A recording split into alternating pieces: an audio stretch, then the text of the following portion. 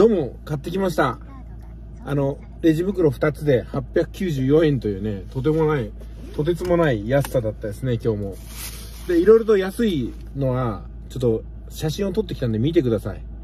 まあ一部ね、パックがテカってて、見えにくいやつがあるかもしれませんけども、でも、壮観でしょ？なかなかのもんでしょ？いや、これすごいと思いますよ。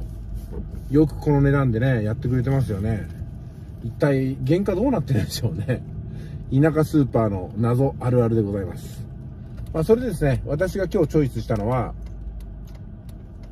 あ、すごいスピードできたな。私が今日チョイスしたのはね、カツカレーですね。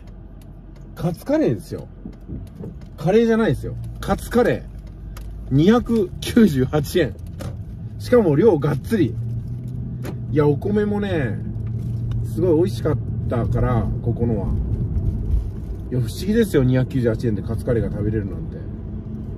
ココイチとか行ったらすぐ1000円でしょ。まあ、あそこはね、すごく美味しいですけどね、やっぱ別の美味しさがありますけど。でもその、この時代にね、2キュッパーのカツカレーを出そうっていう、その、この気持ちがすごいじゃないですか。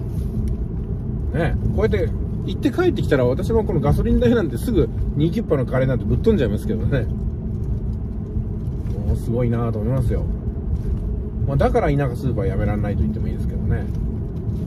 それじゃあね、田舎スーパーのカツカレーが優秀すぎたの コーナーでお会いしましょうか。うん、やっぱ、田舎スーパーいいな。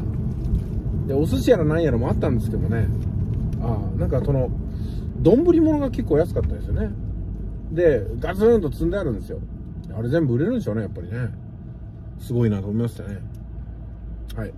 今日はそんなところでございます。いってらっしゃい。